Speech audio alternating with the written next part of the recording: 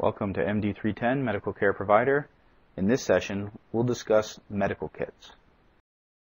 By the end of this session, you'll be able to identify four factors that will influence the type and amount of contents in a medical kit, describe four desirable characteristics of a medical kit, and differentiate between first aid kits, jump bag and first response bags, an abandoned ship medical bag, and infirmary stock.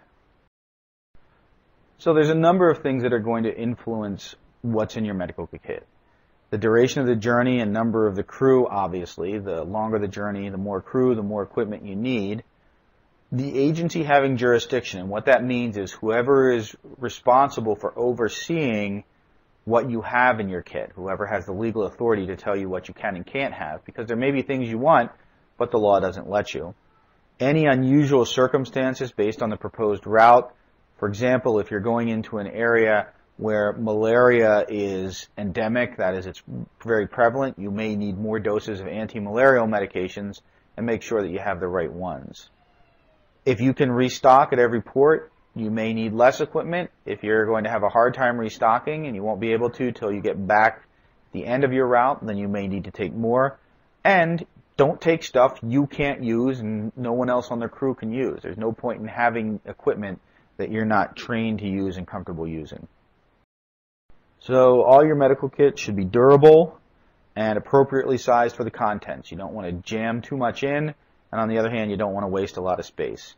Ideally, it'll be modular, and what that means is you arrange things within your kit either by body system, so medications and supplies for the stomach and GI tract, medications and supplies for the cardiovascular system, or you arrange it by intervention. So IV fluids, airway management, etc. And you also want to have emergency and non-emergency access. So stuff that you won't use regularly and that you don't need in an emergency, you pack further into the kit. Things that you need immediately to save somebody's life, to address X, A, B, C, D, uh, D type of issues, that's the stuff that you keep right on the top. You want it to be user friendly. Remember, you may be sick and need someone else to take care of you who has less training, so you want them to be able to use it without a problem. You want to have some kind of a guide that tells everybody where everything is so they can find it easily, and you want it to be secure so that nobody takes stuff out of it that they're not supposed to. So you may have an unsecured supply of over-the-counter type medications and then a secured medical kit that includes all your resuscitation equipment and your controlled medications. What will you have for medications in your environment? Well, the IMO has a quantification addendum for the International Medical Guide for Ships. And in that, they list all the medications that are referenced in that text, uh, which essentially are the IMO medications for ships, and the recommended quantities for a given crew size. So you'll likely have a number of different types of medical kits.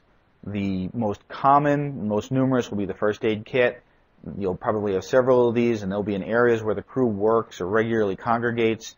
Any crew member can use them. It's the equipment to address exsanguinating hemorrhage, airway, breathing, and circulation problems.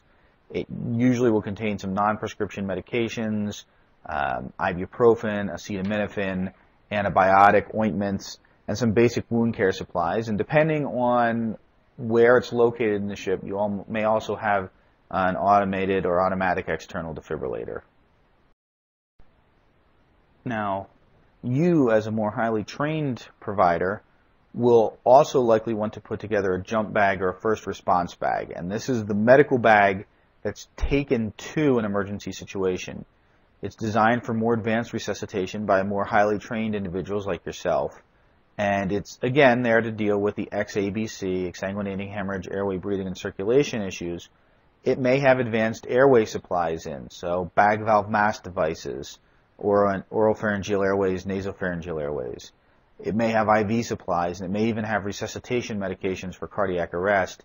And if there's not already an AED available where you're going, you would also take an AED with the jump bag or first response bag. You'll actually want and really be required to have an abandoned ship bag as well. It's not used shipboard. It's a waterproof uh, kit. It's stored where it's immediately available to be placed in a lifeboat. Uh, it, if it can be stored in the lifeboat based on environmental conditions, great, but most likely it's not going to be. Uh, there'll be a first, it's essentially be a first aid kit with medications for addressing the common issues that occur when you're on a lifeboat, like pain medications, things for seasickness and vomiting, skin infections, because those are very common from skin breakdown, particularly in saltwater and high sun environments, sunscreen, and maybe salt tabs as well, uh, depending on what you're going to have available for uh, nutrients and rehydration. And then finally, you have an infirmary or a, an aid room or some fixed location where you can provide care. And everything else goes there. And usually these are in cabinets or cupboards, not really in boxes or kits. Uh, it's again a modular system, not really portable. Your refrigerated stock and all of your medications, with the exception of possibly resuscitation medications, are kept in there and this is really where you go to work to take care of people. Ideally, you, you provide sick call there, and this is where people come to you to be seen. A good reference to review for contents is from the International Medical Guide for Ships, third edition, chapter 33, the ship's medicine chest. Please complete the knowledge review associated with this session, and if you have any questions, contact your instructor.